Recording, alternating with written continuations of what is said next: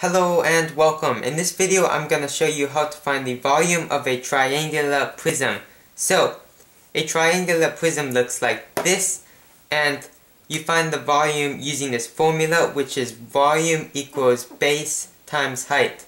Now there are a few important things to know about this formula. Number one, base is this triangle here. A lot of students think that it is this rectangle since when you see the triangular prism positioned like this, the rectangle is on bottom.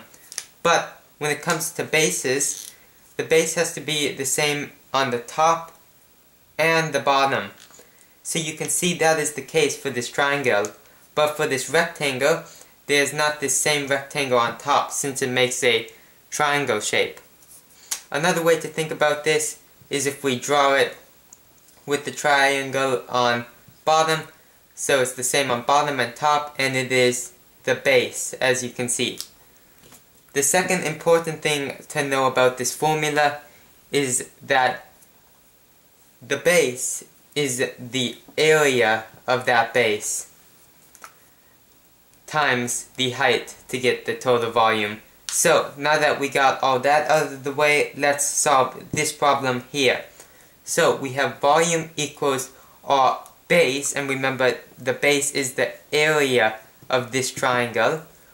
So to find the area of this triangle, we use the formula 1 half base times height. So 1 half our base is 4 times our height which is 6 and then times our height of our triangular prism which is 9. And remember if we tilted this upright that is our height since it would be going up. Next, if we just work down, this will give us our answer. So that's 1 half. 4 times 6 is 24 times 9. So volume equals 1 half of 24 is 12 times 9, which means the volume of this rectangular, I mean triangular prism is 108 we're using centimeters, so we write centimeters, and its volume, so we write a little 3 for cubed. And that's how you find the volume of a triangular prism.